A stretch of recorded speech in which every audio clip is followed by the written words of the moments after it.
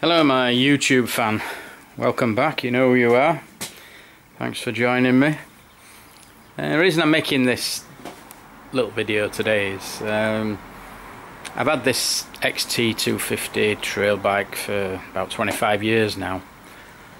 I, uh, I bought it when my girls, my two eldest girls were little and we used to go around the lanes and the pits of Yorkshire, three up on it. Uh, was a fantastic bike, it's the XT250 and I've been doing some restoration work on it. That's it, restoration, um, MOT work. And um, I looked on YouTube, I didn't realise there were that many XT250 motorbikes out there on YouTube, so I decided maybe put mine up.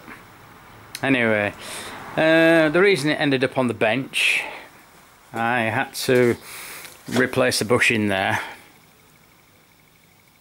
And when I took all the wheel out and what have you to get at it, I realised that on the inside, um, yeah, on the underside there, it was all rotten, so I had to weld that up.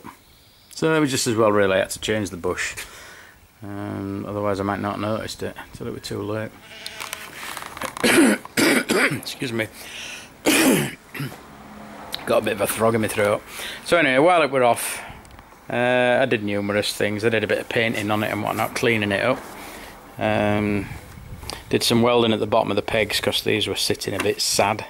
You know, you know how they go, they just wear and slope at the bottom till your partner falls off.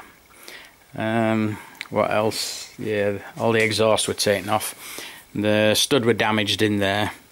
I did the old trick of um, welding a a washer on the end of the stud and then fasten a bolt to it and then try and undo it.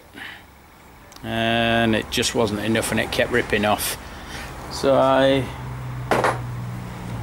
had to drill it out as best I could and then tap it which I'm not a big fan of because normally things go south if I try things like that. But fortunately done and dusted sorted um, so I'm in process of wiring all stuff back up now I wish I'd have taken some pictures. so what we done? Ah yeah, we've got a new brake light switch put in. I've just fastened that up. Excuse the biscuits in my hand. I was just having a cup of coffee and a, a biscuit. I'll put those down. Hang on. Right, they're down. Um, there's my coffee. It's Thursday work is YouTubing. Anyway, right. So what else? Yeah, I'm just in the process. I'm just putting the wiring up, back up in here, and then I can check that light switch. I've got a new battery for it.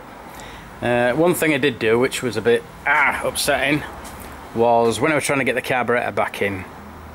It, uh, if any of you have ever taken it out, it's such a tight fit in there. When I was putting it back, I got annoyed because all these wires were in the way. But what happened was, over the years, they've really faded. And they're not very good. So there were two red ones. I've just made them more detailed red by putting some red plastic sleeving on it because they were getting a bit threadbare. Could have done to get a new um, wiring harness but can't be bothered. It'll do me for now so yeah it's been tarted up. Uh, gaiters split. I've got some new gaiters got them to put on. Um, tanks up there. It's got a dint in it. I'm hoping to take it to a show this year, um, a local show, and you can show the um,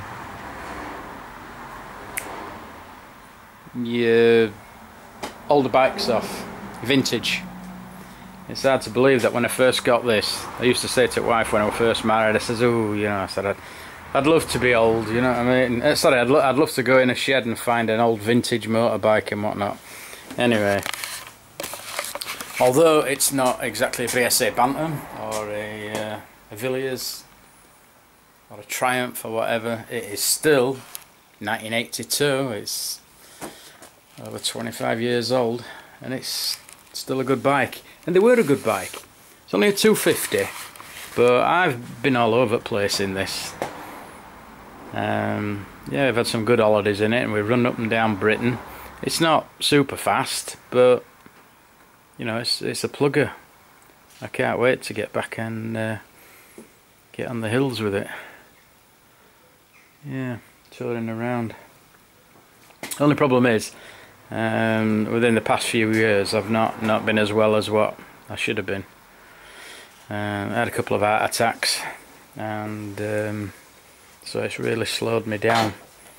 But I still like tinkering with the bikes. I mean, I've had them since I was seven year old, six, seven year old. I used to go on pit hills in Yorkshire. Uh, there's hardly any pit hills left now for people. But those are my generation in the 60s, they'll know that back in Yorkshire in the day there were beautiful slag heaps and what have you to go around on, on the old plaggy 50s. Remember that? The old under 50s, you could pick them up for a tenner and go thrash them to bits. well, we had hours of fun, but kids can't do that anymore. It's not that easy. Um, so, with my heart attacks, it's really slowed me down now. Mean, that used to be uh, one of my better bikes. That's the Bandit uh, 600. Uh, that's its stable mate. Nice bike. Uh, bit of a pig. Bit overrated. Uh, when I got it, I thought, you know, there were there were bees knees from all reviews I got. They are nice to ride. It's a kind of love-hate relationship, and they do feel right. You know, to throw them around and what have you. They're a good little bike, but they're they're not super fast as as the bikes are today. I mean, the bikes today. I mean, they're that fast out of the crate. It's just ridiculous, absolutely ridiculous. Um, it's beyond reasoning, really. The bikes, they're too fast because most of youths nowadays, their brains not connected to the wrists. Hence, they're always throwing them down the road. They ride beyond the limits.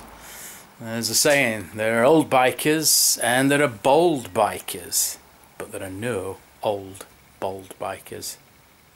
So if there's any bikers that's watching this YouTube uh, video, uh, take care out there because it is summer and it is the mad season. So make sure your brain's connected to your wrist, and that way you'll keep out hospital. Okay, that's all for now. I'll see you again a bit later. Bye for now.